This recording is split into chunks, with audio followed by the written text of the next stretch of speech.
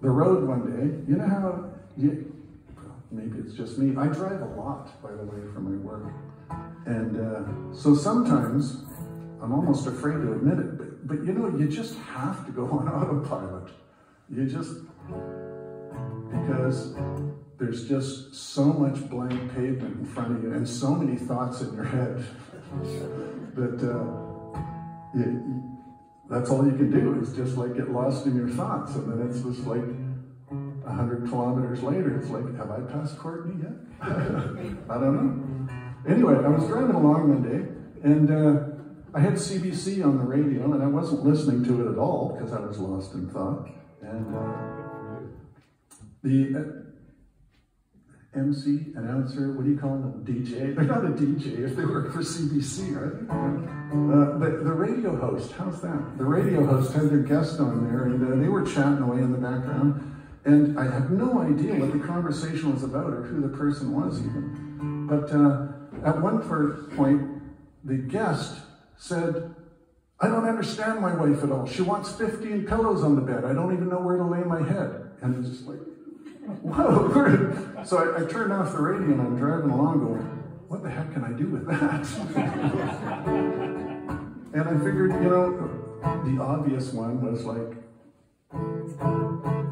a whole mess of people maybe making out or something. You know, it's just like, but I, I can't write about that. That's that's uh, because that that would uh, that would get really complicated in a hurry. But I figured, you know what? I could write about three people, and uh, so I did. And I, I wrote this song as a duet, and I don't have anyone here to sing it with me tonight. But there are male and female parts and harmonies and all that stuff in there. And so I'll just sing it. It's called Three Pillows.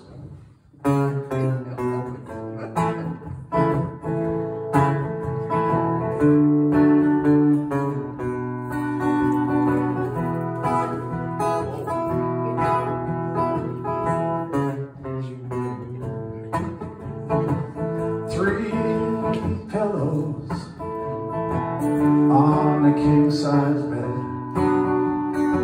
Sounds like fun, I know, but it's just loneliness instead. I long for the day I knew on which side to lay. But I'm confused, I've gotta say now, with three pillows. It wasn't long ago, just two was all we had. We used to lay in bed for hours and. It was such a happy home when I had you